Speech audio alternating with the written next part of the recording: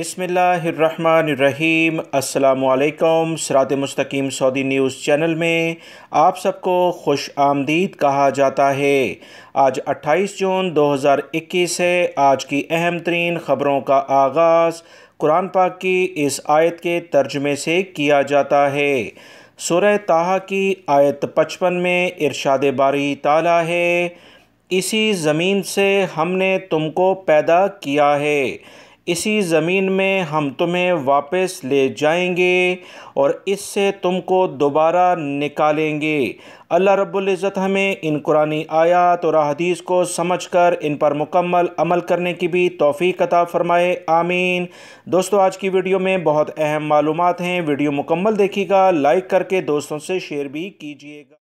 سعودی وزارت صحت کا کہنا ہے کہ مملکت میں ویکسینیشن کے نئے مرحلے کا آغاز کیا جا رہا ہے، جس میں بارہ سے اٹھارہ سال کی عمر کے افراد کو بھی شامل کیا جائے گا۔ سعودی ذرائع ابلاغ سے جو اہم ترین اطلاعات موصول ہوئی ہیں، اس کے مطابق وزارت صحت کے حوالے سے مزید کہا گیا سعودی وزارت خوراک کی جانب سے بارہ سے اٹھارہ سال کی عمر تک کے فائزر بائیوٹک ویکسین کو منظور کر لیا گیا ہے۔ یعنی بارہ سے اٹھارہ سال کی عمر کے جو بھی سعودی شہری اور غیر ملکی افراد کی فیملی کے بچے یہاں موجود ہیں، انہیں لازمی طور پر فائزر ویکسین لگائی جائے گی۔ سعودی وزارت صحت کی جانب سے ویکسین کی منظوری سے پہلے اس عمر کی ویکسین کے تجربات کیے گئے جو مکمل طور پر کامیاب رہے۔ تجربات میں یہ بات بھی سامنے آئی کہ اس عمر کے لیے جو بھی ویکسین مفید ثابت ہو سکتی ہے، اس میں فائزر بہترین ویکسین ہے۔ واضح رہے وزارت صحت کا کہنا ہے کہ مملکت کے ستر فیصد بالغ آبادی کو ویکسین کی پہلی خوراک دیے جانے کے بعد اب پچاس سال اور اس سے زائد عمر کے لوگوں کے لیے ویکسین کی دوسری خوراک دینے کا بھی آغاز کر دیا گیا ہے۔ ویکسین کی دوسری خوراک کے حوالے سے وزارت صحت کا مزید کہنا تھا کہ دوسری خوراک کے لیے عمر کا تعین مرحلہ وار کیا جائے گا جو ویکسین کی آمد کو دیکھتے ہوئے مقرر کیے جائیں گے، جس کے اعلامیہ بھی وقت کے لحاظ سے کر دیے جائیں گے۔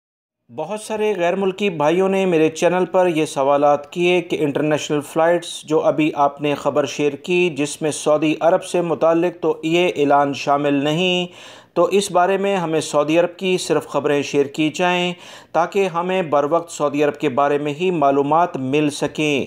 دوستو، یہ بالکل ایک عجیب سی بات ہے کیونکہ سعودی عرب کے ساتھ جو ہمسایہ ملک ہیں، وہاں کے کرونا کے حالات بھی سعودی عرب پر بہت زیادہ اثر انداز ہوتے ہیں۔ یاد رکھیں، اس کی مثال بالکل آپ کے گھر جیسی ہے۔ اگر آپ کے آس پڑوس کے حالات اچھے نہیں ہوں گے تو آپ کا گھر بھی بے چین ہو جائے گا۔ یاد رکھیں، متحدہ عرب امارات گلف کنٹری میں یعنی خلیجی ممالک میں بہت زیادہ اہمیت رکھتا ہے۔ انٹرنیشنل لیول پر یورپی ممالک سے آنے والی فلائٹس اور دیگر جو بھی فلائٹ ہے وہ کنیکٹڈ یہیں سے ہو کر گزرتی ہیں۔ اور پاکستانی اور انڈین بھائی بڑی کثرت میں یہاں پر ملازمت بھی کرتے ہیں۔ ان کی جانب سے جب فلائٹس میں مزید آگے ڈیٹ کر دی گئی ہے، تو اس کا اثر دوسرے ممالک پر بھی پڑتا ہے۔ کیونکہ یہ ڈیٹ آگے کرنا کسی نہ کسی وجہ سے ہی ممکن ہے۔ تمام صورتحال دیگر ممالک بھی نوٹ کرتے ہیں اور اثرات لیتے ہیں۔ اسی بنیاد پر کہا گیا تھا کہ سعودی عرب بھی اس بارے میں کوئی تاخیر کر سکتا ہے۔ حتمی اعلامیہ سعودی حکومت کی جانب سے ہی جاری کیا جائے گا۔ یہ کچھ اہم اطلاعاتیں تھیں جس کو بیس بنا کر آپ تمام حضرات سے آنے والے دنوں میں فلائٹس میں تاخیر ہونے کے امکانات کی بات کی گئی ہے۔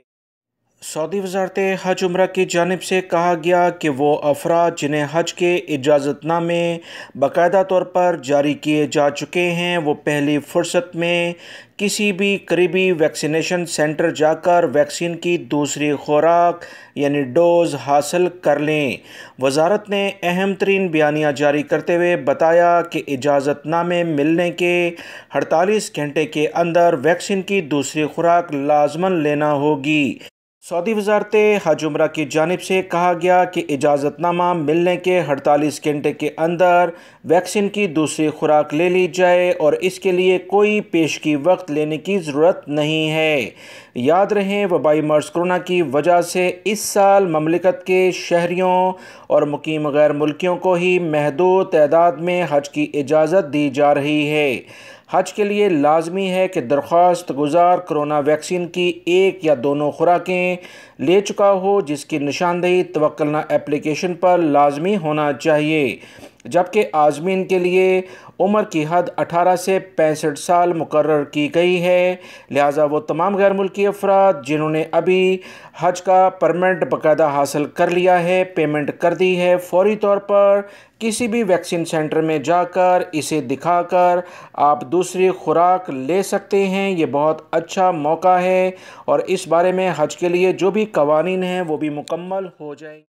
سعودی عرب کے سیکیورٹی اداروں کی جانب سے کہا گیا ہے کہ حوثی باغیوں کی جانب سے سعودی عرب پر چار حملے کیے گئے، جسے الحمدللہ فضا میں ہی ناکام بنا دیا گیا۔ یاد رکھیں، اتوار کو سعودی عرب میں مختلف ذرائع سے جو اطلاعات موصول ہوئی تھیں کہ حوثی باغیوں کی جانب سے حملے کیے گئے، جس پر فوری کارروائی کرتے ہوئے سعودی ایئر ڈیفنس سسٹم نے بھرپور کارروائی کی اور تمام حملے ناکام بنا دیے۔ خمیس مشید اور جزان کے علاقوں میں، نجران کے علاقوں میں اس طرح کی حرکات دیکھنے میں زیادہ آ رہی ہیں کیونکہ یہ حوثی باغیوں کو کافی قریب علاقے پڑتے ہیں۔ سعودی وزارت اسلامی امور کی جانب سے کہا گیا کہ مملکت کے تین علاقوں کی بارہ مساجد کو سینیٹائز کرنے کے بعد نمازیوں کے لیے کھول دیا گیا ہے۔ مساجد میں کرونا کیسز کی تصدیق ہونے پر انہیں عارضی طور پر بند کیا گیا تھا۔ سعودی وزارت اسلامی امور کی جانب سے کہا گیا کہ گزشتہ ایک سو اکتالیس دنوں میں مجموعی طور پر سعودی عرب میں ایک ہزار چھ سو چوراسی مساجد کی سینیٹائزنگ مکمل کی جا چکی ہے۔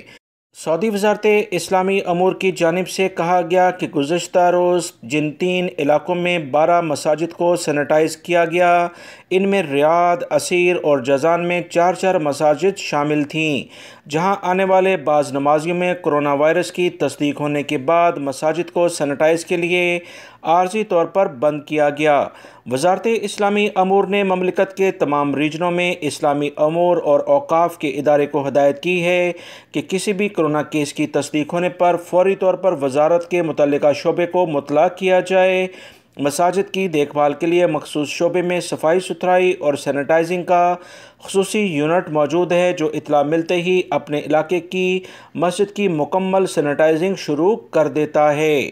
وزارت اسلامی امور کا کہنا ہے کہ کرونا سے بچاؤ کے لیے مساجد میں آنے والے اپنے جائے نماز ساتھ لائیں۔ صفوں کے درمیان فاصلے کے اصول پر عمل کیا جائے۔ سعودی وزارت صحت کے ترجمان کی جانب سے کہا گیا کہ سعودی عرب میں کرونا ویکسین کی دونوں خوراکیں لینے کے بعد کسی بھی شخص کے جام بگ ہونے کی کوئی تصدیق نہیں ہوئی ہے۔ سوشل میڈیا پر اگر کوئی ایسی خبریں چل رہی ہیں، تو ان کا حقیقت سے کوئی تعلق نہیں۔ سعودی وزارت صحت کی جانب سے اہم ترین ہفتہ وار جو پریس کانفرنس ہوئی جس میں وزارت داخلہ اور سعودی وزارت صحت کے اہم ترین نمائندے تھے، انہوں نے کہا کہ کرونا ویکسین کے حوالے سے افواہوں پر توجہ دینے کی بجائے مصدقہ ذرائع سے رجوع کریں تاکہ حقیقت کو درست طور پر جان سکیں۔ انہوں نے کہا کہ عالمی ادارہ صحت نے سعودی عرب میں کرونا کی وبا کے حوالے سے کیے جانے والے اقدامات کو سراہتے ہوئے بہترین انتظامات قرار دیا ہے، جو ہمارے لیے باعث فخر بھی ہے۔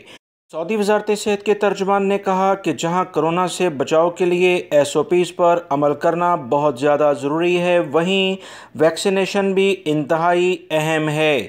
سیزنل ویکسینیشن کے حوالے سے ترجمان صحت کا کہنا ہے کہ کرونا ویکسین کسی بھی طرح موسمی ویکسین پر اثر انداز نہیں ہوتی۔ اس کا مطلب ہے کہ جو افراد اس سال حج کرنے جا رہے ہیں۔ وہ کرونا کی دونوں خوراکیں لینے کے ساتھ موسمی انفلوئنزا ویکسین بھی لگا سکتے ہیں۔ اس سے حج پر جانے سے کوئی انہیں مشکلات نہیں ہوں گی۔ وزارت صحت کے ترجمان نے مزید بتایا کہ اس وقت مملکت میں ایک کروڑ بہتر لاکھ سے زائد افراد، جس میں سعودی شہری اور غیر ملکی افراد ہیں، انہیں فری میں بغیر کسی فیس کے کرونا ویکسین لگائی جا چکی ہے، جبکہ مملکت بھر میں پانچ سو ستاسی ویکسینیشن سینٹر کام کر رہے ہیں۔ سعودی محکمہ موسمیات کی جانب سے کہا گیا کہ پیر اٹھائیس جون کو مملکت کے مختلف علاقوں میں موسم ابرالود اور کہیں بارش کا کافی زیادہ امکان ہے۔ سعودی محکمہ موسمیات کے قومی مرکز کی جانب سے کہا گیا کہ جزان اسیر اور البہا ریجن کے بلند پہاڑی علاقوں میں بارش کے ساتھ زالہ باری بھی ہو سکتی ہے۔ سعودی عرب کے مختلف علاقوں میں جہاں شدید گرمی ہے، کچھ علاقوں میں بارشوں کا سلسلہ شروع ہونے سے موسم میں بہت تبدیلی ہوئی ہے۔ بارش کا سلسلہ مکہ المکرمہ کے بلائی علاقوں تک پہنچ سکتا ہے، جبکہ مشرقی ریجن کے بعض علاقوں کے علاوہ ریاض اور حدود شمالیہ کے علاقوں میں موسم شدید گرم رہے گا۔ مملکت میں حفر الباطن میں سب سے زیادہ گرمی انچاس ڈگری ریکارڈ کی گئی، جبکہ السودہ، جو پہاڑی علاقوں پر مشتمل علاقہ ہے، چودہ سینٹی گریڈ ٹیمپریچر ریکارڈ پر آیا ہے۔